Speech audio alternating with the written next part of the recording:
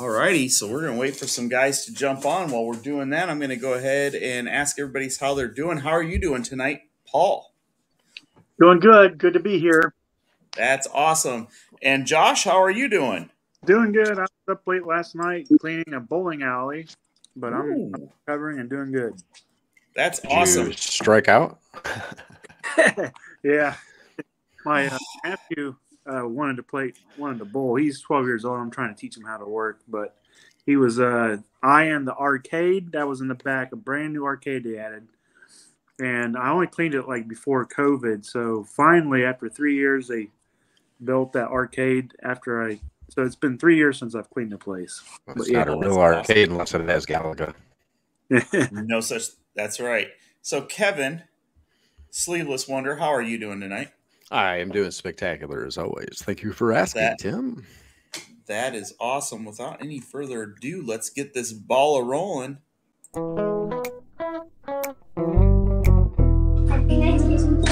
It's 73 minus, um, So, guys, I want to thank everybody for joining us tonight for the Teachers Lounge. We're going to get this thing going right away. But first, I want to thank you guys so much for watching.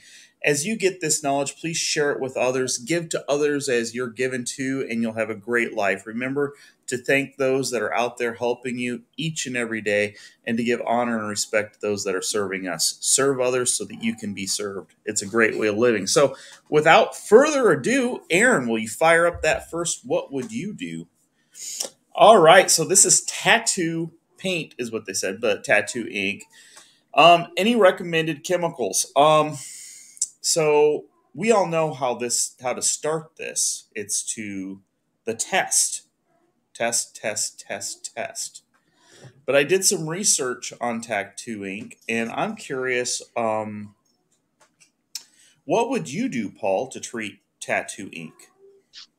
Well, well, that's the point. A lot of times when we get a stain, we don't get any information. They just say it's a red stain or a blue stain. Um, in this one, they're saying it's tattoo ink or tattoo color. We still don't really know what it is because sometimes use people use the wrong words. Uh, so um, we really got to test uh, to see what it is and see what the reactions are. So testing is kind of the key. I love it when I can get a stain out that everybody wants to walk away from or turn down. There was a lot of comments about that, walking away from this, or Mhm. it's a lost cause. But a lot of times, things work almost like magic, miraculously, if you use the right product. So uh, many years ago, just to make this quick, I went and bought all the markers I could think of and find, and I did a whole bunch of rugs and I tested to, because my goal was to discover the best ink remover, the best marker remover. What I come to find out was uh, solvents that worked on one or two of them amazingly well didn't phase other brands of marker and vice versa. So then you realize even if you know what it is, it's a magic marker, there's still some solvents that work better than others depending on what the marker is. So testing is the key. You keep on working until you find out what the answer is. Right. And I, I totally agree. And from my research on tattooing, boy, they put a lot of stuff in that stuff. Just saying, uh, there's a lot of stuff in there. Um, a lot of time there's iron in it. And so sometimes you'll have to use a solvent and a something that can remove iron, like a rust remover, because it's non-oxidized and it's covered in a filmic form of uh, a carbon, like a fluorocarbon even, to keep it black. So you want to be you want to really do your you really want to make an effort to remove it, but you also want to use proper methodology. Um, I see that Thomas joined us tonight. I know exactly how he's going to handle um, this spot, but I want to hear what he's going to do as far as procedure on removing this bad of a dye stain. Um, what would you do, Thomas? Well, first thing I'd probably do is, if I could, find the manufacturer of the ink and uh, talk to them. I mean, a lot of times there are so many different inks. Like some of my ink came from England. The colors Mhm. are actually imported in the inks, and they make tattoo ink differently there than they do here. Uh, one of the people that we go and uh, one of the servers where we eat a lot, my wife and I is from England, and they're they do a lot difference in the way of tattoos. So if you can find the manufacturer and talk to them, that's always good. As far as what I would do individually, I would look for the smallest spot and begin my testing procedures. Now, because it's an ink, there are water based and solvent based inks. For most of these, it's probably going to be a solvent base. We usually try to try to start on the dry side. So I might take a little bit of volatile solvent on a Q-tip as a start for my test to see what type of transfer. And before I do that, let me pre-qualify. Anytime I'm going to touch any ink that I'm afraid of it running, I'm going to ring it with water or sometimes I use stain magic. But I will draw an inch to two inch ring around it to fill the pores of the fiber around it so that when I'm addressing it, it doesn't spread out and become a nightmare. You know how many times in my life I've seen people start with a pencil eraser and end up with a half a dollar size purple discoloration trying to get the inks out. So, and what Paul said when I came in was he was saying test, test, and test. And that's the exact answer test and see what works. And once you find what's moving it pretty well, you can go as far as uh, depending on what you find moves it, whether it's a water, a solvent, or whatever. There's a lot of different ways. I know that Paul has a solvent gun that he likes. And I don't like using solvent guns on uh, latex, you know, bonded carpet, you know, tufted carpet like that. but I wouldn't be opposed to, in some situations, either using that or if it's a water based, you know, flushing through to a water claw or a spotting spatula and bringing it up that way. Just depends on what it responds to, and that's going to determine what chemical and what processes you use. Yeah, that, that's a terrific answer. I'm shocked you wouldn't put down a towel and use a tamping brush. But Paul, Uh, just to address what Thomas said, excellent comments there. And putting that ring around or wetting out the fibers around, that is key. And I didn't mention that. I'm glad you brought it up. Um, but with the solvent gun, uh, you don't want to shoot it into the latex. It'll, Right. it'll dissolve the latex. But you can do a gun and cuff method. Yes, the shearing method. Yes, a shearing method. And you just hit the face fibers by putting the gun all, not quite, but near parallel with the carpet surface, and then a vacuum cuff on the other side or vacuum tool, and you just you just hydroplane your solvent uh, through the pile, and then you can get away with using a solvent gun. Just a little trick. That's an awesome trick. Thanks for sharing that, Paul. So, um, uh, Josh or Kevin, do you have anything you would like to share? Maybe just blast it in deeper into the carpet with the good old technique that you've seen from YouTube with the Hydroforce. Yeah, sure. Why not? Just Yeah, soak it down. No, I, Just I would. it. Paul and, and Thomas covered it. That exactly the steps that Yeah. I would take. I think Josh is in the same boat. I think we would all agree on that. So we need to move on to the next. What would you do? I was hoping that somebody would say tamping brush. So Christian has a really oh, thank That's you. only if you get into water-based inks, Tim. I know. Well, we have something. Then you can use your tamping brush. So now we're dealing with molasses. Now, molasses, we all know how big of a pain in the butt sugars can be. And keep in mind, you know, tonight's theme is money making opportunities. Um, so if you can be the guy that doesn't have spots come back, that would be great. He asked if he could use silver solution. He says it is an organic spot, which it is. Um, I'm curious. I would personally, the way I would treat this, I'm just going to start out. I would actually put down Kevin's magic water start out before I do anything else. I would want to break down those sugars with just hot water. Just start somewhere. Start somewhere. Get myself a base before I apply any cleaner. Try to strip out some of that sugar myself. Or is my methodology wrong? Um, Paul, Kevin, or would somebody else like to change if they want to disagree with my methodology by starting out with Well, water? I'm rinse? certainly not going to disagree with the magic water. Duh. no, you know, I mean, that's I would do that. I want to get as much of it out as possible. Now he says it's in the pad, so you can only get so much. So unless you're willing to disengage the carpet, which it kind of looks like it's in the spot, you could do that. It, If I'm Mhm. seeing that right, there's there's kind of a corner there.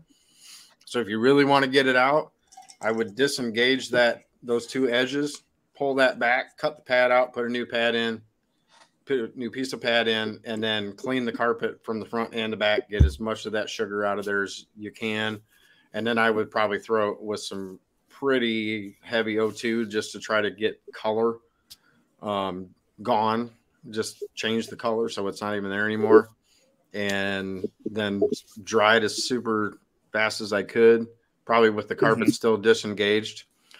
Um, and then yeah, I would still go back most likely with a little bit of silver solution and, and end cap it just to just to try to keep it from from moving. So let's talk about the time rate and how you would figure out the cost on this because to me tonight's show is about added on charges. You know, if you can take care of this type of spot or spill or like the tattoo ink, you're now a specialist. Your average carpet cleaner is going to throw their wand on the carpet, pretend to clean carpet, in and out, one and done. Thomas, you've made your entire career being a specialist. Um, I, have no problem with silver solution as the initial response to this. Mm-hmm. Warm water, not hot. Warm. I don't want to go too hot with these sugars and drive them in. And I would apply it, agitate it very gently using a handy groom. Okay, so we're specific using a handy groom. And then I would use layers of white cotton towels and my tamping brush to remove the gross contamination. Okay, then I would probably, if I wasn't going to disengage this, I would use a spotting claw and a needle injector, again using warm water and flushing it. If I can disengage, I'm going to disengage, just like Kevin said, remove the pad, clean the floor, replace the pad, flush from the backing up. I'm not going to use hot water because I don't want to flush hot water into that latex. That can cause it to delaminate as well. So I'm going to use warm water and I'm going to put the spotting claw on top and flush it from the back and I'm not going to use anything with a lot of pressure. I'm going to use a volume of water, not a lot of pressure of water, because the pressure will blow the latex apart a lot more rapidly than just a continuous flow. yes. And then when I'm done, I would probably treat it with an oxidizer and maybe an anti-resoiling agent. Yeah, Paul, uh, uh, Kevin and I have talked about this quite a bit, and he's a big into flushing things very thoroughly with his magic water. Um, but I'm big into the tamping brush. Well, it's So that I can- combination of both. I can drink a little remove bit the of. remove the gross sponsor on my contamination first. Is always remove the source of the odor or the contamination. Remove as much source material as you can before you go crazy. So that's yeah, and, and keep in mind that there's times when you want pressure and there's times that you want flow. right. It's just like That's when right. we when we power wash. Um, there's times when we're surface cleaning, we want pressure. When we're rinsing, we want flow. So Exactly. it, it's it's not one or the other. Um, so whatever the situation calls for. So again, you could put some really hot, really high pressure water on the backing of that carpet and destroy it. So whatever's right for the moment in in this situation. Again, if I'm Yeah. doing the back, like So- Thomas said, I'm I'm going flow, not pressure. Absolutely. So, Paul, you had your hand up. Okay, so uh, all the comments were excellent so far. Uh, good, good information to put to, into practice. Why? Thank you very much, Paul. But one of the things when we talk about spot removal, one of the things we don't hear much about, we don't get demonstrated much, is you have wicking when you have a, a, a soil like this. And so one of the key factors is when you get the spot out and the carpet looks beautiful, you're still not done. What you also have to do is either set up a poultice or sometimes we call that diapering, so that as the last moisture that's in that textile is going to bring along a little bit of residue. And so if you put a, a diaper or a poultice or a bandage on uh, that surface, then those uh, sugars, those stains, those colors, those odor molecules can actually keep on going and go up into the poultice. Or if you can't do that for whatever reason, oh, and sometimes dry compound carpet cleaning is a, Oh yeah, cleaner is a good poultice, especially in four seven operation. I know some of you guys do healthcare, or if you do a public place like a, a airport or a bus station, you you can't leave trip hazards, but you can put absolutely. capture or host or some other product. But the idea is to keep that wicking to go through the textile up into the absorbent material. Or if you can't do that for whatever reason or don't want to, uh, the other option is to thoroughly dry it. And so sometimes uh, a hair dryer or a air mover is key to spot removal, so you can stop and put an end to that wicking by removing the vehicle, which is the water, and evaporating the water out before it has a chance to move that material. So everything we talked about earlier is more important. You got to get rid of the source, but you perfection is difficult. So that that Absolutely. poultice uh, or super dry uh, is is kind of the last step to stain removal. Absolutely. I totally agree with that. In fact, there's not been anything said on this that I disagree with, so I'm going to make something up. Um, would it be necessary to remove the pad in this situation? If it soaked all the way through to the pad, would it be necessary to replace that pad? Is there any way of cleaning the pad? It depends on the type of pad. I mean, that's the first consideration. The second is it worth it time and material wise? You know, it's going to be half inch, three eighths, seven sixteenths pad. If you have pad, it's probably easier to just double cut the pad. So you cut the affected area and the new piece out to fit exactly by putting the new pad over the top and cutting through both pieces at the same time. So you have an exact fit underneath, and you don't have to problem the problem with it that way is probably faster than trying to flush all that from and guaranteeing you're going to get 100%. Yeah, I definitely don't want that those sugars because sugars will grow things. Paul, And pad is usually quite easy to clean. Uh, so if you have a synthetic pad, you know, usually that's very cleanable because it's it's similar to synthetic carpet fibers.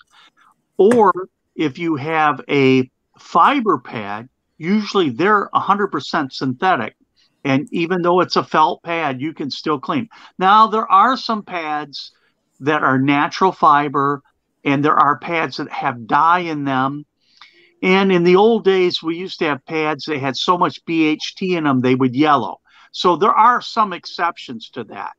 But but typically you can wash that pad in the sink and take care of it and reinstall it. But you do have to make sure that it's not to bleed color or be destroyed by the cleaning. Absolutely, and uh, you know that, that that's one of the things. And I want to talk about the charges because tonight's about making extra money. If you are a spotting specialist and you run into this sort of situation, you got to think about what your company needs to make per hour in order to cover this sort of thing. This type of spot spill stain could take you up to an hour. So if you charge, I, I have a flat out spotting policy, and I encourage everybody to do it. I charge 150 hour dollars an hour, and I charge in quarter hour increments. If you're not doing that, or you know, you can pick what you need to charge with your company. I don't care if it's $100 an hour, 75, 30, whatever you need to do to make money, but you have to have done the math and know what your company needs to do to make its money during the time and what you need to do to cover your cost. So that's an important thing to understand is that when you're doing this type of spotting, it's going to take extra time you have to be reimbursed for it or the customer will not appreciate it. Because I can tell you right now, a household machine will just make this a mess. Paul. Often, the people that have this bad of a stain and the last two that we looked at, the the only real option if they don't hire an expert spot technician is replacement. So remember, you're not competing with a coupon cleaner who's going to do it for you know fifteen ninety five a room or whatever. You're really competing against the carpet store and the carpet installer. So now all of a sudden, the competitive bid that's going to do what you can provide is a thousand or two thousand dollars. And a lot of times, even though it's only in one room, that room matches other rooms and hallways and entryways and and for them to replace that one room of carpet you know if they like that all flow through look you got to replace multiple carpets. So don't cut yourself short and say well it only cost you know $50 to clean this room so that's my ceiling. No you're you're competing against replacement Absolutely, and that that's the thing that I want everybody to think of while they're watching tonight's episode. Um, for you guys that are watching online, you know, remember to put your comments or questions in the comment section. We'll go ahead and answer those as we go or at the end of the show. And don't forget, we have an important giveaway at the end of the show tonight that I'm going to be doing. So um, let's move on to the next. What would you do? So in this case, this guy has left his cards everywhere. He is working hard to try to grow into the commercial market, and he's kind of stumped. And it looks like he's done everything right. He's talked to the managers, the supervisors, and everything. And Kevin, I know how good you are at getting commercial work. You're one of my local competitors and friends. Um, unless I break out the Subaru manual. Um, of course, of course, you have a Subaru. Uh, I don't. do. I don't. We got rid of the Subaru when it's salvage yard. But No, you still have he the manual. drives a for some reason. Volvo. I don't. I'd have rather a he have a no more. Volvo than a Subaru.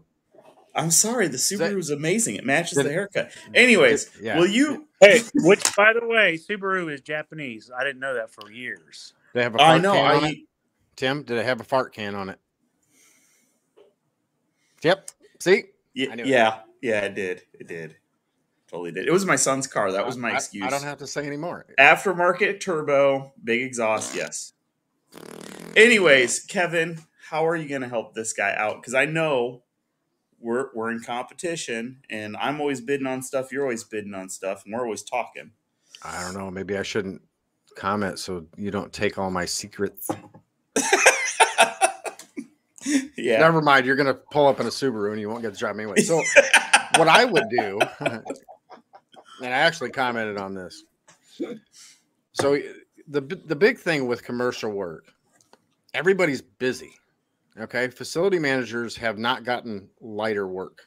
Their duties haven't decreased over the last 10 years. They've increased substantially. So where they had assistance or where they had help or someone else was doing a particular job and it, it- it's just gotten dumped on them. So the, the the way to look at it is unless someone is screaming or something is flat out broke, it's not going to get their attention. So a good example of this is building services at the hospital. That's one of the cost centers that we work for. They have so much stuff that goes on. When there's a problem somewhere that's minor, like somebody will will call about a dinged up wall or or something that needs to be painted, they whenever they can't even deal with it. So what you have to look for is a problem. Search for a problem.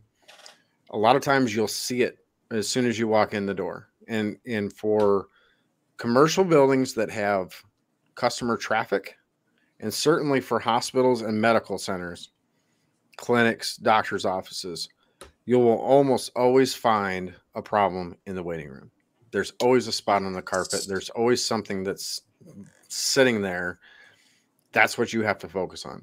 You've got to solve that problem because they may have had 10 or 15 people complain about it. We the, the one of the other hospitals that we service, they just had that where they're getting customer complaints about shower floors. So we we came in and we tried to do some fixing and we may have a solution, we may not. It just depends on if they're going to want to replace it. But if you can be the answer person, if you can have the answer, you can fix the problem and it doesn't take any time off of them, they will call you every single time. And they won't call anybody else. They won't bid work out. They're just going to call you. Can you fix this? That's what we do. We fix problems. That's why I'm mm-hmm. here. I need to. And again, they will not call anybody because they don't have time. A lot of the and, and this can work in your favor. A lot of facility managers nowadays do not have time to bid their workout. No, they absolutely don't. You're 100% correct. there's no time. There is literally no time for it. So when they get your email, that it isn't going just to spam. No. They read it for one second Yep. and they have to put out the next fire. They've already had three Yep. heart attacks happen before their day started at 9 a.m. I mean, I, I think some of my facility managers they'll deal with 20 issues before they're open, and I try to be gracious enough to send my emails until after they open, around their first break, around 11:30. I found that to be effective to get positive um, communication because before then before 11:30 they put out 150 200 issues that are like silly issues to you and I but imagine having um, a patient room that doesn't have the gauze that the doctor wants that's a bigger issue than there being a spot on the carpet Yep, hundred percent. And and when you look for those problems and you can identify one, you can simply ask the question, "Can I solve that for you?" hmm Won't cost you anything. Obviously, it depends on the job, but most of the work that I've done, um, it, it's came from demos. And I when I commented on this particular post, we got a ten thousand dollar a month janitorial contract from a single bariatric drink stain because it had been there for three years, and they had tried at least three different companies and seven different tries to get it out, and no one touched it. And I simply asked them. I said, now, of course, this is when I was running the big janitorial company. I said, if I can get that stain out, will you give us a bid um, presentation for janitorial? And he said, yeah, absolutely. Came in, I set up the day to come in. I came in at six o'clock in the morning before all the patients got there. 45 minutes, it was gone. We had a Yeah, bid walkthrough. We had a bid presentation at eight o'clock scheduled if I had gotten it out. And sure enough, we had the bid presentation and we got the contract. So be be a problem solver. Look for something that that they need. And then the other thing that you can do is stay in front of them. Don't spam So- them. Don't send them an email every day, but once a month or twice a month, send them a, an email on something else. Um, and not really specials. Commercial people aren't worried about interested in specials. well that's what I was just about to ask how much concern is there especially within medical buildings is there about pricing how much is that on their mind They're, we're talking about the busiest humans on the planet it depends on the importance of the work. If they have a surgeon, exactly if they have a surgeon that's complaining about a floor in the OR, guess how much they worry about money? zero At all. i know Not at all. I know It- And i they're did an calling the guy, they're calling the guy Right. or they're calling the lady that knows how to fix it and says, We have a problem. I need you in here today. On my way. two ounces of diamond 1000 disinfectant in an mri room at five hours at 150 an hour in quarter hour increments per technician they didn't question it they didn't think about it. They didn't they didn't even glean a question mark. Now it's not carpet cleaning but when we're talking about an mri room for example but guess how i got that account? It's through carpet cleaning. And they're Correct. literally like the the director had a panicked look on her face because number one another thing i have to mention guys and kevin you've stressed this upon me many a times we cannot be misogynistic when we look at people when we're talking to these women women and men that are directors we have to go in and we gotta we gotta just fix their problems. We Stay just gotta be stay as humble as possible and Yep. realize there are there are superiors at all times no matter how much expertise we have. In this case can you make it not smell like puke? And can you grab something from our sds catalog we already have Yep. and so you got to be willing to change whatever thinking you think you know to what the customer needs um and you know like like you deal with situations where you have to use specific products based on what the hospital guidelines are Mm-hmm. Yep, they have to be approved. But yeah again, there, there sometimes there's ways around it. As long as we're not storing it there, there are things that we can bring in if if it's you know absolutely necessary. One time use.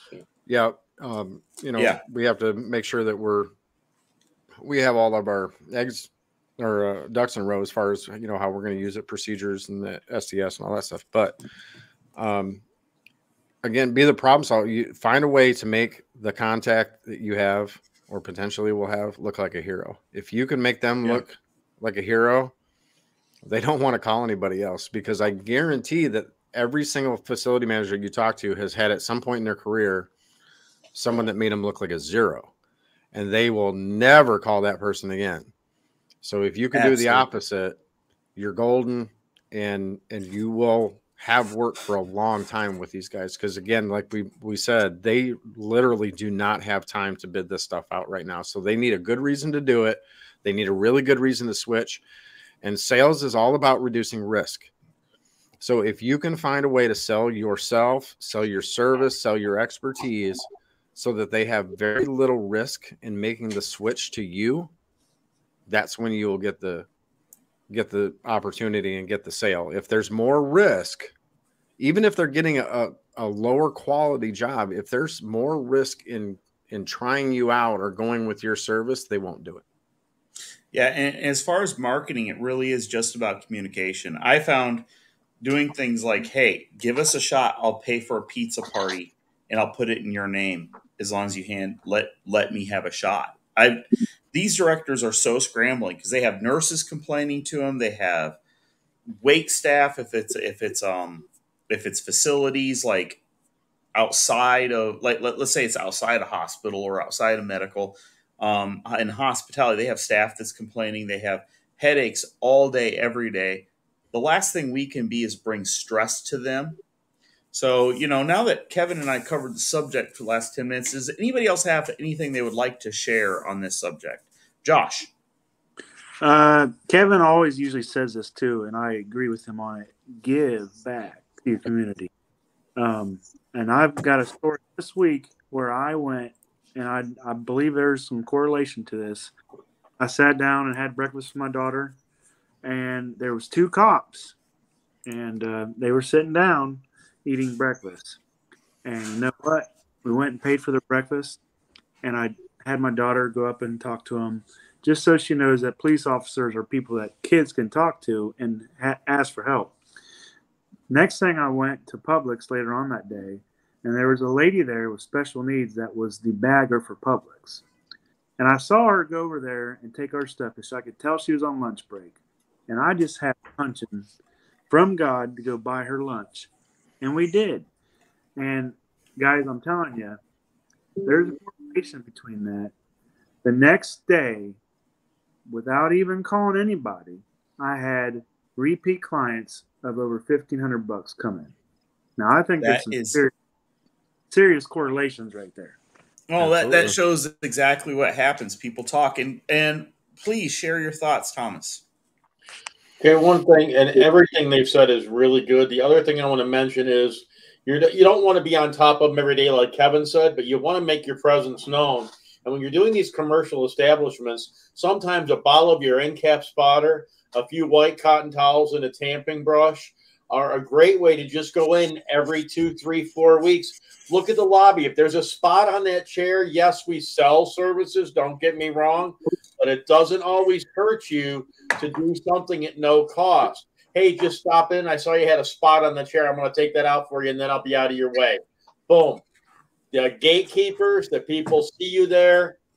Doctor walks through. Whoever walks through sees that you're doing that. You weren't scheduled. You're doing it, you know, at six in the morning or a time when they're not busy. You're not impeding the flow and traffic, but you're on top of the facility. Then when you see something when you're there at six in the morning or eight in the morning getting that spot off a chair, and you see, oh my goodness, this looks bad, or I went used the restroom to wash up when I was done, and this looked bad. That's when you call a facilities manager. I was in there doing spotting the other day, and I happened to notice this was an issue. Would you like me to come and correct that?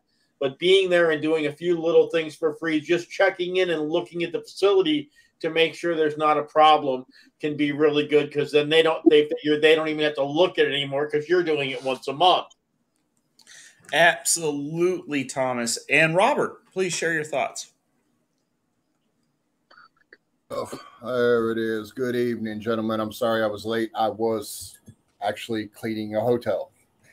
Excellent. Hospitality. So, uh, reading through his little thing here, real quick, I, will I'll say this, and, and, everything that I've heard so far from everybody has been spot on. Um, one thing that I live by with commercial work in specific, I'm 95% commercial. I do very little residential. In the commercial industry, I have clients that I have been uh, courting, as we'll call it, for four and a half, mm-hmm. five years before they call. Five years. And then they finally call one day out of the blue. We'd like we we we're we're interested in having you come out to to we've got some problem areas. So what I do is I have a, a, a rule in mind. I, it's already set up in my system. It's a 30 day 30 day email. Every 30 days, it sends them an email and says, "Hey, Mr. Cermak, this is Robert with REM Cleaning Services. I know we haven't been in contact in a while. Just wanted to reach out and say, hi, how are you doing? And if you need anything, I'm here." Mm-hmm. Very Sounds black terrific. and white, simple um, and it just keeps you front of mind. Um, if I don't hear from them, you know, if I don't hear nothing back, I'm, I'm not taking that as a no. Absolutely. I'm taking that as a I, I don't have time to deal with you right now. There's other things more important that's going on than my need to whatever over here with cleaning. So, so once a customer rejects you, Robert, do you consider that to be the end of the story, or do you keep pursuing no, it? No, uh, until I hear until I hear an an, an actual no um, that we're happy with the guy that we have. Um, and even at that point, if even if they say, you know, we're happy with the cleaner we've had, we've had him 10 or 12 years. He's been, you know, their company's been phenomenal. Anytime we've needed them, they've always been here. I retort with, well, in the in, in the event that something happens and they're not able to get to you, feel free to call me and I will do my best to be able to get to you. Absolutely. See, that's exactly what we need to say. Um, because I don't want to take any work from other guys. Yeah. And I, Paul's I been buildings. I visit buildings all the time and right. they, they say they have a cleaner. Every building that you go into, regardless if that building's been around more than six months, they already have a cleaning company. They have somebody they're using. Yeah, whether they're happy with them or not is another thing entirely. And and in another yes. and in agreement with that, Thomas, exactly. A lot of these directors and these operations managers and even ownership, they're scared of change. Absolutely, no matter how bad, no matter how bad the guy that they have in there is, They'll tolerate mediocrity rather than go on a search and spend their time to get something better. Absolutely. So I want to, on, on this subject, Paul, you've been raising your hand quite often. I want to hear what Paul has to say. Okay, so I'm reaching way back in history here, but when I used to actually clean carpet for a living, uh, I wanted to get commercial work also. And, you know, it's hard to get it sometimes. And, I, when I read this post, I'm going, yeah, I've been there. Uh, so what I came up with that worked pretty effectively was a carpet condition report. Now, maybe if I did it again, I would call it a flooring condition report because you know of, of, diversity. But back when I was doing, I was mainly interested in carpet. And uh, what I do is I go, you know, go through all the motion, leave your cards off, brochures off, talk to the gatekeeper, all that. But I would offer to do a free carpet condition report. And I would mention that I was a certified carpet inspector that worked for the carpet mills um, inspecting carpets. And I would do, you know, uh, um, and I had a form, I'd show them the form. I say, I'll fill this out for you. It was a one page form. And then I would go in, and of course, what I was doing was measuring all the rooms, checking soil conditions, uh, so that I could give them a actual quote. And that's really what I was in there for. Uh, but I told them what kind of installation they had, what kind of fiber they had, soil condition, all, all those things. And then the main thing is I would look for problems. And, and here's the one I found on almost every single job. I would go to the doorway seam and I would grab the, the carpet pile and pull up on it. And if you know anything about carpet installation, you set your iron down on your hot melt tape And Yes. you move across the doorway or you know arch, and when you get to the other end and you hit the wall, you lift your iron up. That means on both ends Butterflies. seam, it's not bonded well. And Well, so that's what a hot glue gun is for. I had to say that to trigger Thomas. Yeah. That's actually technically correct. yes, After a butterfly steam, you may be laughing, but that's actually. I know it is. I know, but I wanted to hear you us- say it. all of us that are inspectors or installers know that you know you got to put that iron down, let it sit for a second to get it mm-hmm. slippery. So now you've melted that glue, and then you can start to move it. And when you get to the end, you got to stop for a second and let it do its thing, and then lift it out. And so I always had a bad seam on every job, and sometimes I I found other things that were more important, and I would point it out to him because I'd fill the form out, and then I'd want to talk to the owner, manager, decision maker, and I'd say, I got to show you this. Uh, you know, you got a bad seam here. And what I'll do if I clean a carpet, I don't really want to clean a carpet with a bad installation. So I will repair these seams here, here, and here, and there. And we'll do that no charge because we really need to do that to get a good way to clean it without making it worse. And mm-hmm. I'll include that in your cleaning thing. But the other thing is, this can turn out to be a trip hazard. This can turn out to be a, a- situation where your carpet installation fails and your seam opens up. So, you know, even if you don't hire me, um, you really need to f- take care of this problem. Now, there's other problems. If there was more apparent problem, I deal with that. Uh, cigarette burns, you know, Oh, um, absolutely. whatever it is, loose tackless. Right, right. whatever.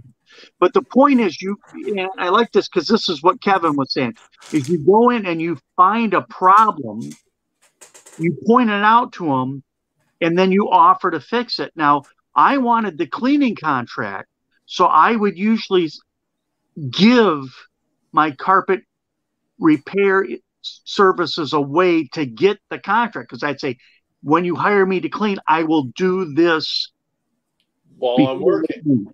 So just Absolutely. I got see- a lot of contracts with that. I absolutely agree with everything everybody said, and I'm going to turn it back into the way of making money and diversifying with this.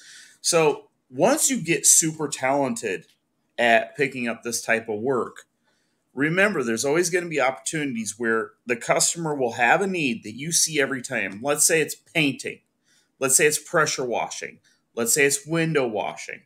And you've got to be able to find those opportunities and then seize them and hire that service. Find a service that you can team up with and then take that service and your team. They're like part of your business. So, like, let's say you don't do carpet repair like Paul did. Then you find the guy that does and does it really darn good and you hire him as a contractor, take care of it. That way, in the eyes of the customer and the facilities manager and the maintenance manager, they don't have to call anybody else. For example, Kevin, how experienced were you at power washing service girl of of power washing huge three four story parking garages before you did your first one? Uh, before I did my first one. Well, before Um, you've done them, Yeah, before I did the one for the hospital. yeah, exactly. You just saw an opportunity, and how is that paid off? It's uh about twenty five k a pop, and probably takes about five days. There you go. And see, guys, Kevin, did you have any of the equipment to do it? Nope, What did you have to spend initially to take the opportunity? about ten grand. and it was worth it. Paid for it on the first job. And see, guys, if you see an opportunity and you're not capitalizing on it, you're being foolish. If they have painting that needs done, they have window washing that needs done, they have everything that needs done. Now you are their favorite human being because Kevin covered it really well. Are the busiest humans on the planet. They don't have time to search for people. They're literally just wanting it covered good. I have a building that's getting painted right now the people have been there seven days past the date of completion. Love that look on Kevin's face because he knows what that means. This is actually a financial building. They, they aren't as critical as medical, but the Let me guess, they're the contractors you're using your equipment to. Oh, they've so used our equipment. In fact, Sherry, you know, she's not on the show. She's out cleaning right now. Um, my dear wife um, threatened to murder them. Ah, It, Yeah. yeah. yeah, But she Been didn't there. say murder. They just are scared to death through the look. You've seen the look. You've seen, yeah. I've seen her give you the look. She still likes you. she still likes you. Um, so just something to add to that that power washing deal. So when Yeah. when I just asked the question, okay, so I went to my contact and because we were doing just for like 40 foot sections outside the entrances, and I just said, Hey, have you ever thought about having the whole thing done? He's like, Yeah, been it's been on my list for two years, and I haven't had any time to get to it. Tell me how much it'll cost if you want to do it. Okay. Yep. It was that simple. it is that simple 90% of the time in medical specifically, but now in everything. Since COVID happened, these managers are at an absolute breaking point. They cannot get the things back up to snuff because they had two years off from reality. So now we're getting back to reality, and reality's scary. And they cannot find the people because the people have gotten regular jobs. Guys went out of business. They didn't know how to handle it. So those of us that stayed in business need to capitalize right now. Mhm. So let's move on to the next segment, Aaron. All right. So in this case, this person thinks that they're cleaning a, a polyester, but yet there's some obvious issues going on. It's obviously not a polyester fiber um, type. Can you just blow right into that? Um, it is a linen, I would say. Um, it's hard to say without burn test, but I think it's actually the type of fiber that we're going to be talking about in just a brief bit, um, where you can get browning, yellowing, staining issues. Way I would clean this is with a little silver solution and the sponge technique. I cover that in a video. Mix up, mix up a lather, cover it really thoroughly with the sponge, and then go through and remove it with some microfiber towels. But I'm curious, what do you guys think of this type of surface, and how would you take care of these water rings?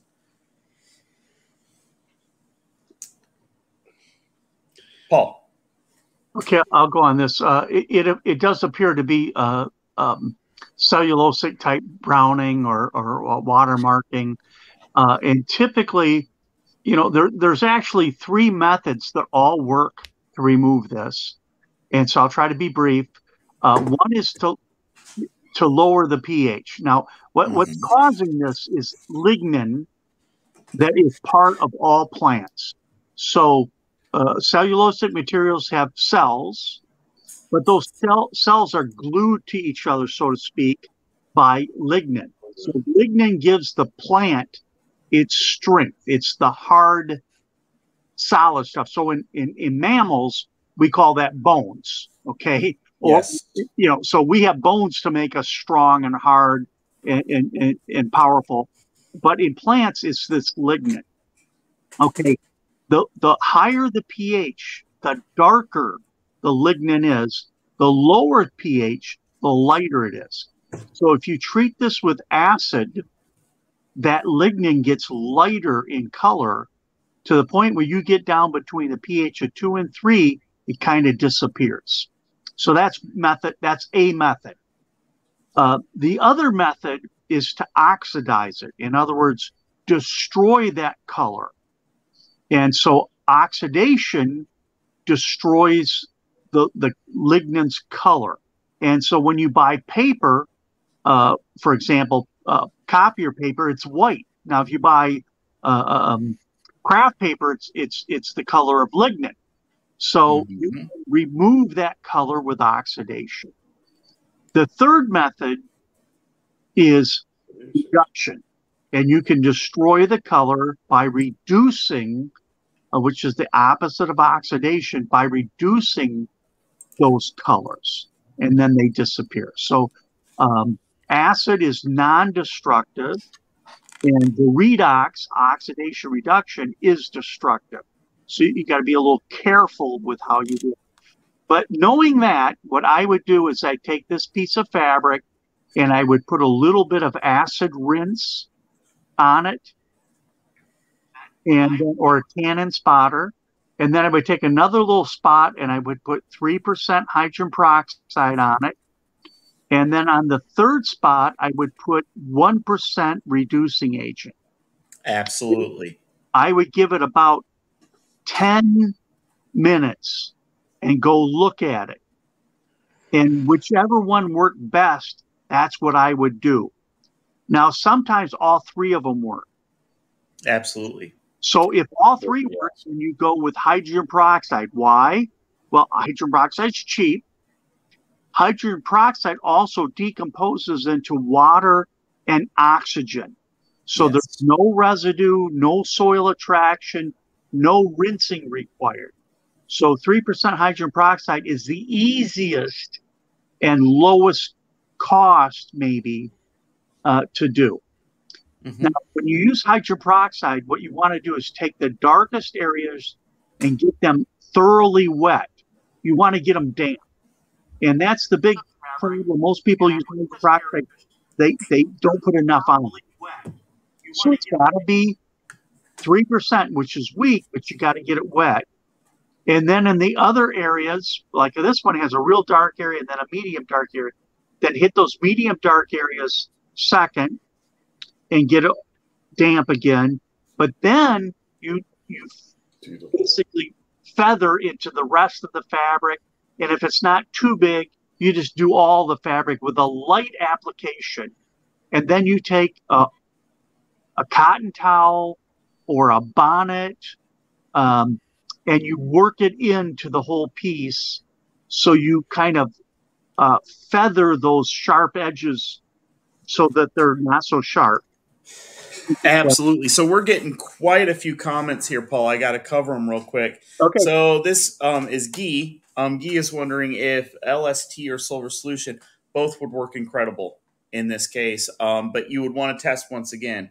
Like Paul said, you know, we, we have that product called Storm, and Storm would work incredible for the acidic side. If you need reduction, you could use um, you could use a little bit of the the Thunder product that we have. That would give you a slight portion of reduction, be within reasonable levels, and then you could use a little bit of um, lightning. But all this fabric is is is by looking at it. I can't tell. I don't can't do a burn test, but I have a feeling it's the bad guy type of fabric. I have a feeling there's some rayon in this because of the sheen. If you look at the angles and the, a- the edges and stuff, I think there's some sheen. I would want to be a little gentle on it. Both those products work incredible on it. Three percent peroxide. Once again, Gee, no problem. Cam Mayville asks if um, he's just letting us know that Paul has um, no clue and he wants us to get another expert. Well, Cam, you're welcome to be on the show every night if you want to. You can be here for every single episode and join us, and you can tell Paul that he needs to behave. But I'm not going to tell Paul to behave because he's my friend. Kevin will. Um, and then Yeah, great it. education, Paul. Pawning off on Um, me. It looks like it was from Gay, uh, Guy as well. And then for uh, another conversation from Cam, he says to use if it's a rayon, use an oxidizer is best. I agree. Absolutely. So now we're ready for our next subject, guys. We covered this one pretty darn good. All right. So this is a rough one. Um, Nick kind of rambles on a little bit, but basically he has a stinky basement. Um, to sum it up, it's a it's a whole bunch of stink on a whole bunch of stuff. He's wanting to know the proper methodology between the wood and the different surfaces. And I covered this one pretty well in my comment, which is you got to treat everything. You can't leave any surface to question. And I was hoping Thomas would cover this a little bit about the proper methodology of cleaning a contaminated area that's really stinky. Thomas, would you please help us out? Okay, well, what I've had great results with is starting with an acid rinse on concrete and porous materials, using an acid rinse, allowing it to resolubilize, which means I have to give it 20 minutes or so dwell. And I was just uh, demonstrating yesterday. Uh, we took salts and we were making them dissolve in water. One quarter teaspoon in cold water took 84 minutes to dissolve with a few drops of an acid rinse from your uh, product, by the way, we were able to have it dissolved in about 12 to 15 minutes with no agitation. And see, that's the key because sometimes you can't get to it. If you can get to it, that's fine. But sometimes, like when we're trying to get it out of padding, we can't. For concrete, spray it down with your acid rinse, brush it with a deck brush or something to get some agitation. It'll dissolve much quicker. Rinse it with your turbo. Then I would dry it really well, and then I would go after it with an obliterate. Once I remove Yes. the gross contamination, gross Mhm. contamination first. That's the rinse with an acid, and uh, that's getting rid of the gross contamination. Always the first step. Then I would actually try to use obliterate on it next. And if that didn't solve all the odor, which it probably will not on the porous surfaces, uh, you can recreate and resaturate, or with the obliterate, you've done both as a second nature cleaning and resaturating. So you could dry it really well before sealing it. There are a number Yes. of different uh, sealers you can use to stop any moisture from getting to any alkaline crystals that are left in those porous materials. I've used everything from white and clear pigmented shellac to we did one job not that long ago that was concrete, and uh, we used a product a customer had bought called Crete Seal by Sherwin Williams, and it did a very good job. I was very happy with the end result when I went back and cleaned her furniture about four months later. Uh, there was no odor whatsoever in her garage. Oh wow, that that is so awesome! Thank you so much for telling us the proper methodology for taking care of this, Thomas. I a hundred percent agree with you. Hundred percent. I can't add anything to it other than we have obliterate liquid coming out, which can be fogged onto surfaces with an LVL fogger. Um, but I'm not going to announce that yet. It's not an announcement officially yet because we haven't got any on hand, and I can't advertise. it. You can't just any money. did. I am such an idiot. Speaking of that, we have that got our our man that picks on Paul all the time. Cam Mayville is here, and I just love the guy to death. Cam, please share your thoughts. What's going on, guys? You know, hey, I was just sitting back watching the show on Facebook, and uh, you know, I gotta give my brother Paul Lucas a little bit of crap. I mean, I only get to do it on like Wednesdays and you know, like nine in the morning when he's just rolling out of bed in the morning when he's having his breakfast. You know, I get to call him up and give him a little crap. But no, I'm being, He's up by nine. you know, some days he is. It depends on who's making But- his eggs and his hash browns, man. You know, But course, here's the thing, fruit. Cam. I don't feel nine o'clock is morning. I feel that's the beginning of the party, That, that's or true. the man. rest, the leftovers from the party the night before. I'm Just still partying at nine, man. yeah, you're just getting things rocking and rolling, right? That's right. That's right. No, I'm kidding. All, all, you know, being serious though, Mr. Paul Lucas is uh, definitely one of the greatest out there, and he, he's he's definitely sharp. And uh, so whatever he says, I agree with. That. He's Tom- all right. I'll tell you what, all right. man. Thomas freaking nailed that. I mean, and, and he, he? nailed it. I think he nailed that in under two minutes. He explained to everybody what you need to do, how you need to do it. That was badass. That was really good. Wasn't that crazy? Like Thomas is like one of the best teachers in our industry. We're going to give him a big head. But the fact is, guys, if you're not going to Captain Carpet um, for your training, you're looking at the wrong trainers. I highly recommend his classes. I've been watching his videos on YouTube, and I will attend one of his classes within the next year without question because Captain Carpet is the man in our industry to take care of you guys. I've watched him stay up till midnight answering my questions when it comes to anything other than carpet. He is there as a mentor, as a friend, as a caregiver. He's an awesome dude. And he won't chime in right now because he's that good of a guy and he deserves the praise. Same with Paul. Paul deserves praise too. Him and I can sit and listen to Beatles albums while Oh, drinking why, good why, why you quality. gotta kill it, man? Why you gotta kill it? Oh, You know what? I bet I know exactly what happens. You sit and listen to the Beatles in your Subaru. and that explains a lot. you know, I replaced my explains lot. Subaru with a Chevy pickup, so you guys can. Kevin has Okay. quickly become my favorite on this show. Just so everybody knows. Isn't he awesome? Kevin is I mean, the- could you pay to have a Kevin around? I mean, when the first Well, time I you met Kevin, he told me Silver can, Solution was but- crap without ever testing it. He just didn't believe that it was different. He didn't believe it was a different product than what was already out there. And well, that's then, be- that's because when you first put it out there, you're like, "Oh, look at this! It's sweet cinnamon sparkles," Hmm. and I'm like, "Come on, man! You and everybody else." And then, so speaking then of cinnamon the rest is sparkles, I want to thank the people at Truly for supporting my YouTube channel. Um. So, anyways, uh.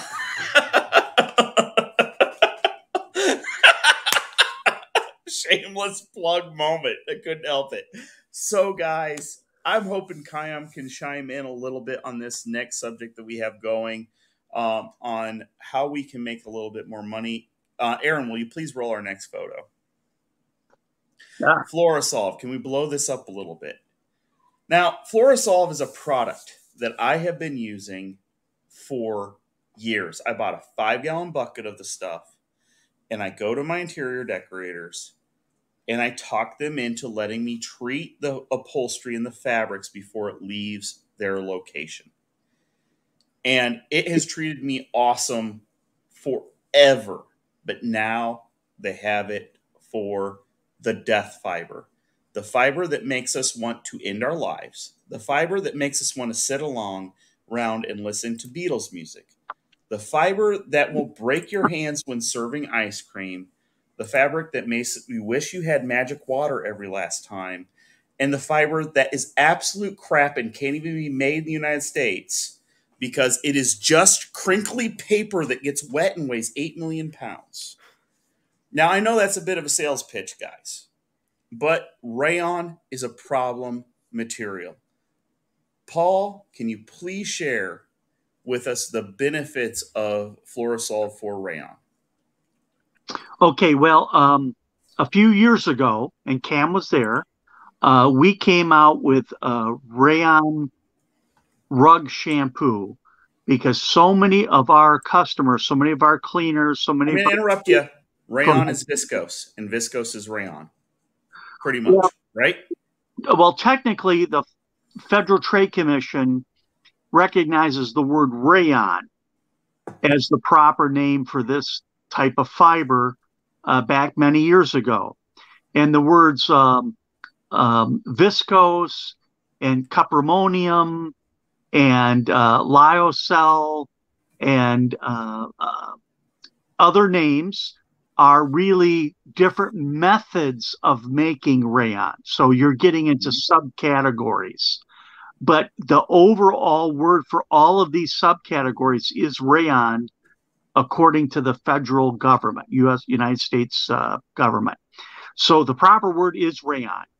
Uh, but viscose is the lowest cost process of manufacturing rayon and is also the most environmentally damaging method of making rayon.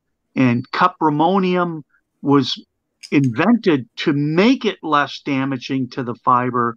And, and uh, lyocell method was invented in the United States to make it non-damaging at all to make rayon fibers. So uh, if you're environment, if you're a tree hugger and you're environmentally conscious, uh, you should only recommend the uh, lyocell, which is Tencel is the name, uh, the trade name, but that method of manufacturing does not hurt the environment.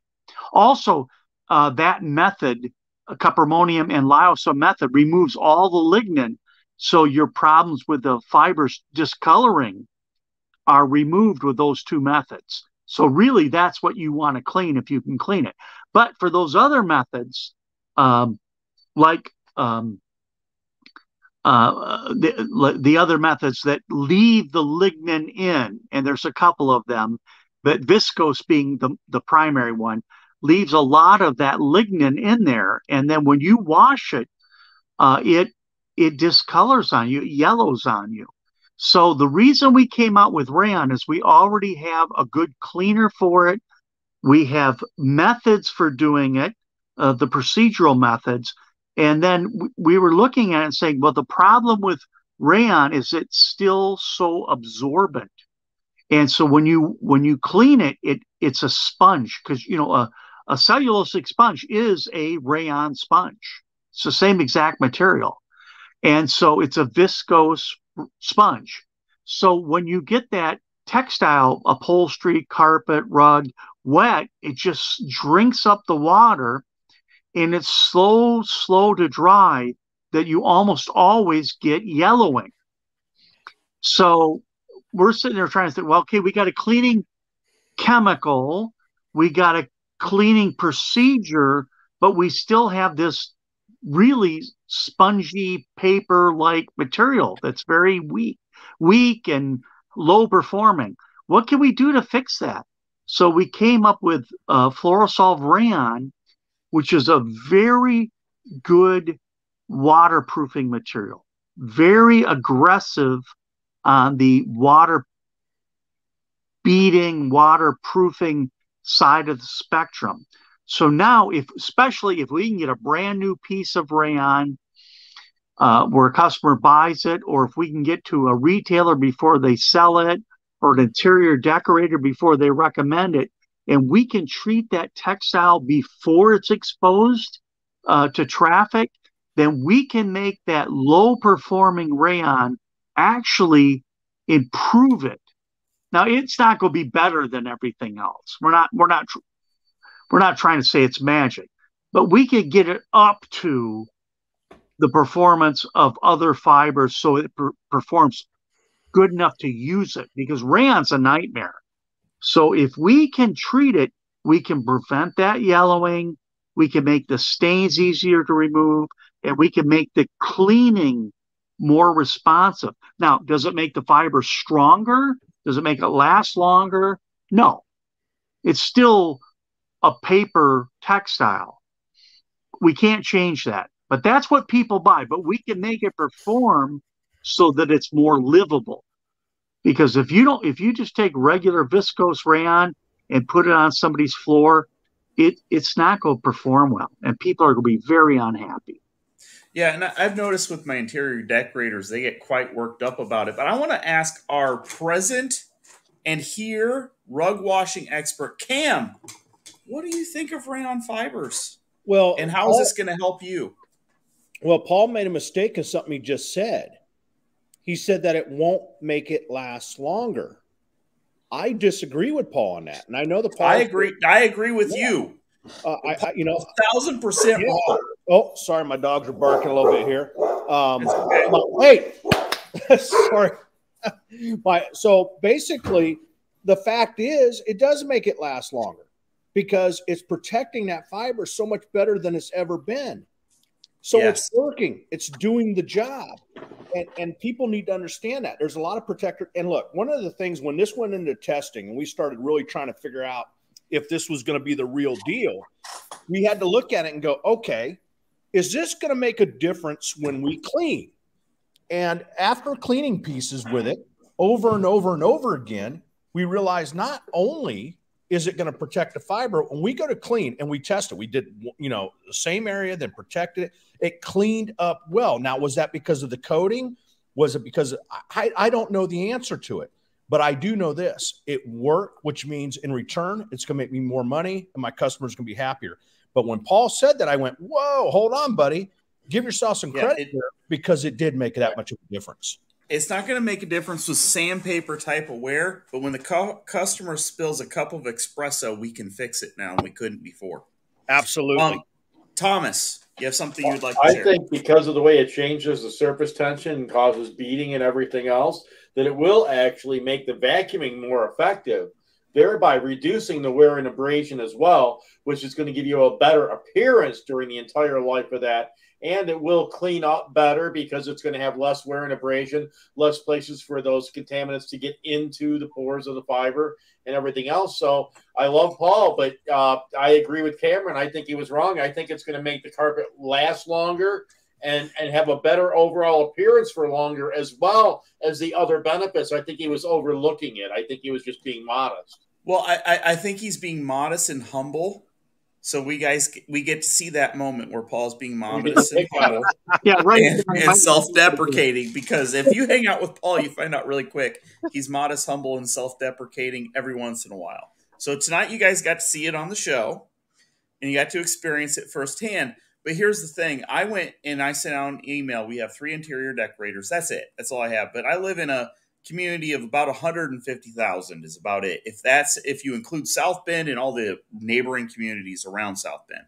And I sent out an email to my interior decorator saying, "Hey, on top of our service where we apply our fiber protectant, we're now offering a Pacific fiber protectant for viscose and rayon." And every single one of them responded with yes and please in their statement. These interior decorators are feeling like fools, idiots, and mar- morons right now because they're selling people rugs that are viscose, furniture that is rayon, because what's in fashion currently, it's currently very vogue. Viscose fibers are very vogue. I mean, Cameron, how many rugs do you get that are viscose in a week? You know, in a week, I would say we average about 10 of these a week. Um, Yeah. When I first started, it was a kind of a lower number, but now, you know, 10, 12, 13. Con- I mean, and, and then not to mention the blends, the tufted blends that are wool and viscose. Those are Oh, too. You know, I mean, we're what about the cotton viscose? Oh, absolutely, absolutely. And so this this is a total potential industry game changing product. But Paul's going to undersell it because he likes the Beatle music and and jazz bands. Go ahead, Paul. Okay, so that, that's the other point I want to make, especially with the Uh. theme of your show being how to make money. You don't want to sell this as like a Scotchgard treatment, Yes, A- exactly. Teflon treatment. This is specific for solving a problem with rayon. And this product is designed specifically for rayon. So what you want to think about, let's talk about upholstery. You know, I know this is going to freak you people out, but I already have people doing this. You want to look at upholstery cleaning that if you put on regular fiber protector, that you should be charging approximately half of your cleaning rate.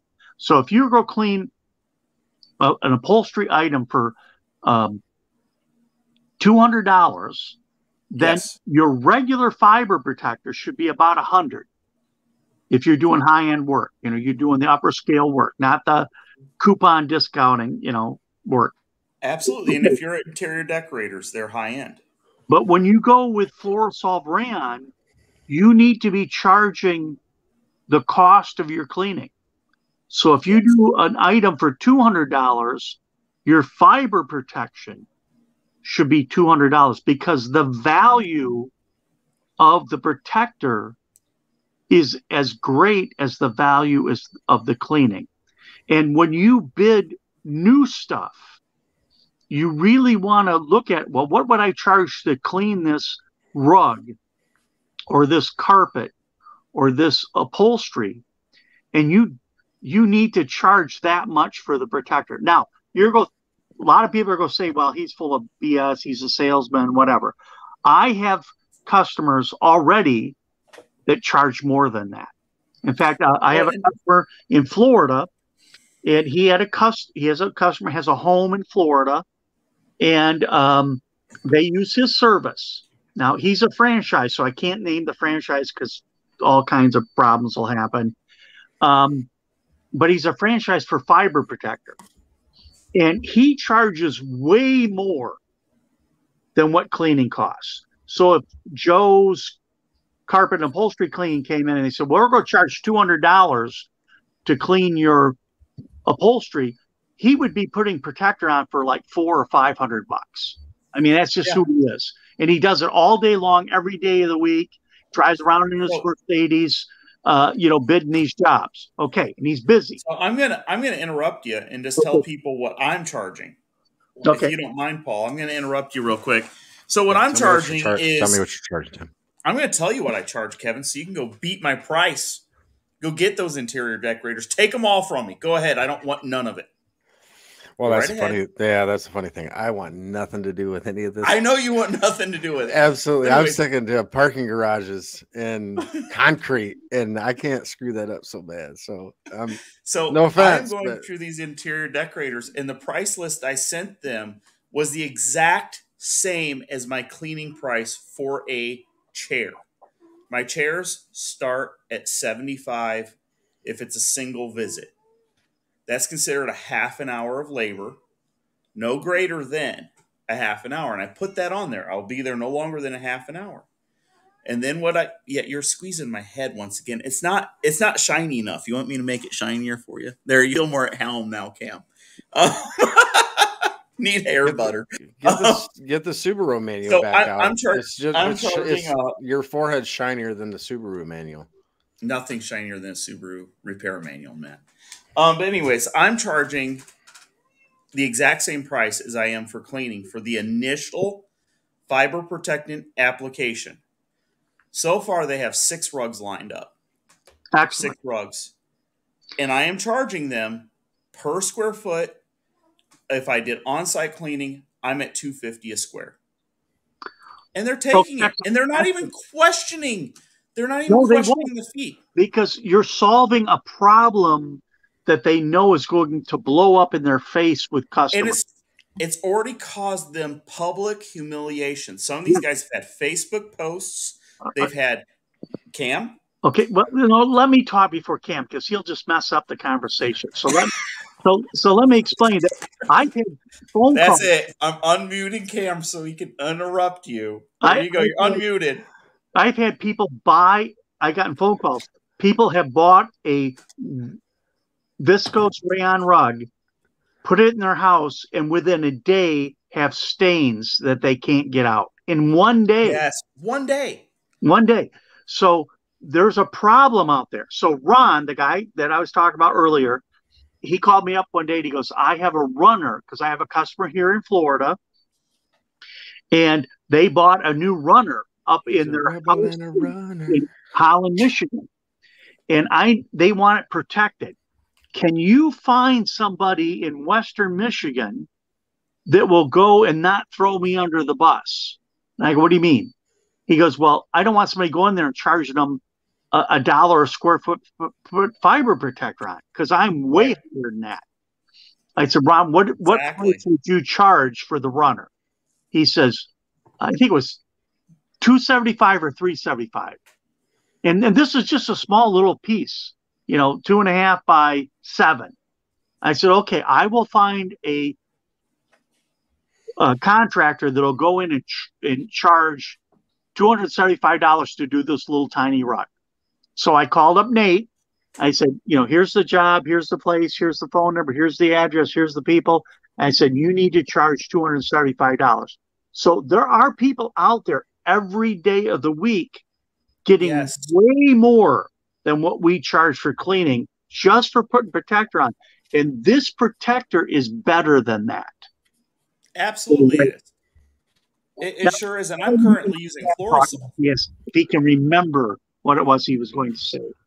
It So, almost makes me want to try doing can rayon now.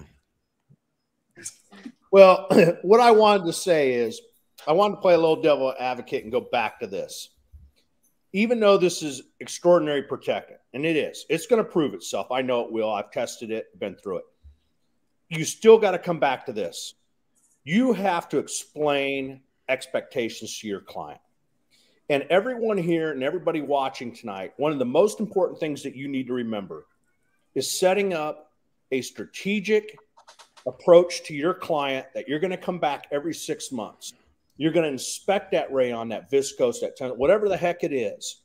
You're going to inspect it. They're going to chart. They're going to pay you a monthly fee, but you're going to be kind enough to come out there, inspect the rugs, inspect this, inspect that, do the things that need to be done to make sure that your client understands that this still is not bulletproof and that you have to Absolutely. maintain it. You have to take care of it. And if you do those things, that customer will stick with you for a much longer period of time and So- you're in the house on a regular basis. Yeah, so that's one of the you're a rug washer. I'm not. I'm not a rug washer. I don't want to wash rugs. I'm I'm not. not, that dumb. I'm not that thick. I'm not going to Uh, buy I all the equipment.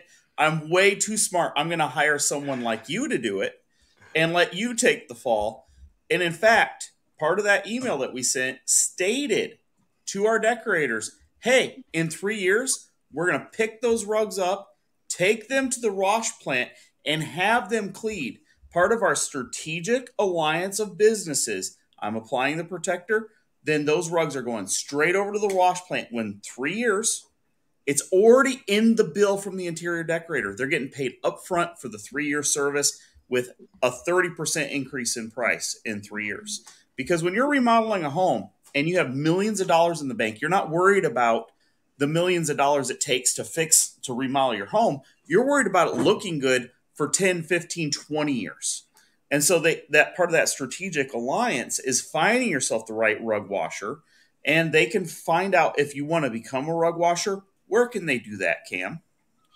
Well, I mean, are are you talking like them finding the, the proper rug washer and looking and finding? No, how can they become one? Because the guys that are watching right now, they all have entrepreneurial seizures like I do. Oh, I'm sorry. Okay.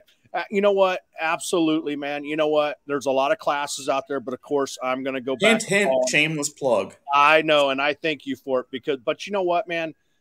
We really give a damn about this industry. We really care. I do too. we want that's exactly why I love to come on here and talk with you guys because we got to make a damn difference. And and these fibers are out there and how are we going to make it better? Well, we got to show the carpet cleaners who are coming up going, "I want to clean rugs." Well, don't let them go out there and get pulled this way or that way when they don't even understand their own goals. Sit, we got to sit down with them. We got to show them what do you really want out of this. If you want to just do a few here and there, we can show you that. But if you want to become a rug expert and do this on a regular basis, well, that's a whole different ball game. But let's sit and talk about it. But we can get them there. We do it all the time. I mean, Paul and I are going on what nine years of teaching classes. We've sold out every single hands-on rug class. No other rug cleaner, I think, can say that. We've been able to do it, but it's because we're from that no BS side. You know, we're we're just going to tell you how it is, and we're not going to give you a bunch of smoke not mirrors. Cam, but uh, I go much further back than that. But but Cam's been doing it for almost nine Well, years. but but Paul, you're you're you're extremely old. They I'm had rugs in the keep us a they had rugs in the youthful in the 1800s. Well, they had they had leather pelts that they had stretched and scraped. Matter of fact, I, I think there might even be some old, you know, uh, stories about Paul chasing like you know deer through the wood forest or something, trying to catch them. You know, I I, I don't know. I heard about that, but Yeah, yeah. Well, he tanned leather with his teeth. That's how he learned how to do all I, this. I've heard that too. That is that's He very peed on it and then tanned it with his teeth. Um, yeah. So, so, anyways, guys, when is the rug room, Paul? When is the rug room? When can they see you guys? And then when is your next class, Cam? Paul, Paul doesn't even know when it is, so I'm going to have to tell you because he's a little Please, slow. I know he forgets already. He's nine thousand years old. I know the poor guy. You know, it, hey, it's every Wednesday, but we've changed some things up. We're going to shorten the show up a little bit because we're so busy and we're so tired lately with the summer being here. We're going to go 7:30 to 8:30. Our class is coming up in October, October 20, 21, 22. I'm hoping to see Thomas there. I know Thomas is like this really rich guy that loves ice cream and all, but you know what? He needs to get off his ass and come to our class and hang out with us, and we'll have soft ice cream for him. We'll have a safe chair for him with straps and all that stuff. We will make sure that Thomas does not injure himself because Thomas, we are looking out for you. Look, Yeah, that's a if- if wonderful guys offer ever- that I am in September in Vegas, in October in Vegas, and the only way I could do it is if I tied it in maybe with the instructor school or something because uh, I'm not making three flights. You know, I'm not supposed to be flying at all. I'm already doing two air flights in three weeks. All, all I All hear is excuses, guys. That's all I hear, Kevin. Well, if I survive hear- these two flights, Well, we hey, might do hey, it. The doctor I- told me I wasn't allowed to do it at all. Let, let me put it this way: I will attend a class, but you better plan on nobody else showing up because that's what happens when I show up. Tim, you you're welcome to show up to our class anytime. Oh, Look, if, dude, if I Tim really shows if that. Tim shows up, When I show up and try to show off my newest toys and take, you're gonna end up with a story. there. Yeah. I'm If not Tim going there. to- Paul, please share your statement. You're being so polite. And by the way, when Cam says 7:30, that's Central Time. Yes. It's 8:30 Eastern Time, 5:30 Mountain Time, or, or I mean, um, 6:30 Mountain Time and 5:30 Pacific Coast. So that that's the time every Wednesday. We've been doing. How many years now, Cam? we're man, we're going on. I think we're over nine years now. And and and by the way, I I do want to mention this, Paul. This Wednesday night, I'm going to show everybody, and I just saved someone tonight. A major, major problem. It, this rug was going south, and I said, "Hey, let's do this, this, and this," and we saved the rug. I'm going to talk about one of those techniques on Wednesday night, and I'm talking. then keep it quiet. oh, Keep it, it quiet. it- Don't share anymore. You're wanting to share. it Stop. is. I'm not going to say Get it. self-control. It's huge. It's such a great technique, and and not Yeah. only can it be done on rug cleaning industry, but it also can be done in the carpet world too. So I, I always tell guys all the time if you're a carpet cleaner, you got to check out the rug room. You got to see what these guys are about. If you're not, you're missing out on the greatest show out there. It's what's inspired this show. It's what guys need to do. So it's time actually for us to move on to our next thing, which is Josh talking to us about what we should read. Aaron, can we please show that next um, thing about the books? So, Josh, what do you recommend guys reading to improve themselves? All right, first things first, guys. Listen up here. We have got uh, there's an old saying: leaders are readers. If you want to lead in your industry, if you want to lead in your area, it's time that we need to buckle down, folks, and start reading. Now, this is coming from a guy right here who grew up with a learning disability and had a, a uh, high school teacher tell him that he was not smart enough to go to college. And you know what I did? I went to college and I graduated, and I graduated with honors and with a master's degree. So there's no excuse, folks. I don't care if you have a learning disability. I don't care if you like to read. You can go out and listen to audiobooks. My point is, I'm going to challenge everybody to go out and read and improve your business and become a leader in your industry. And one of the best people, in my opinion, is Zig Ziglar. And um, what's really cool about Zig Ziglar is you can download his app on your phone. And there's no excuses here, folks. You can listen to his speeches on your phone while you're driving to your job or driving home. And he can give you all, all kinds of great presentations on being positive in business and help you on your sales. This book in particular, right here, that I'm reading right now, is about the goals program. And this book is just deep and very inspiring and very good. The first chapter, he basically tries to sell you on the importance of setting goals as a business owner. And uh, one of the things that I took out of the first chapter was he said, You know that an airplane will actually deteriorate sitting in one spot more than it would be flying in the air. And he said, The, per- Yeah. the and the reason why is because it's not doing what it's made to do. And that's basically what this whole book is about. So my recommendation, read Zig Ziglar, download that app, guys, and get out there. Show us the show us the rest of the title. Show us the whole book so guys can look it up. yeah, it's Zig Ziglar, the Goals Program. It's very thin Perfect. and it's not very big. So you can get it at Barnes and Noble. You can get it online. You can probably get it in audio form. Um, Audible. Yep.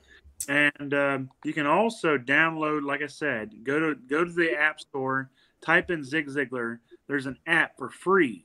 All of his presentations are on there. You can listen to them audit auditorially as well. So That is thank thank you so much for sharing that, Josh.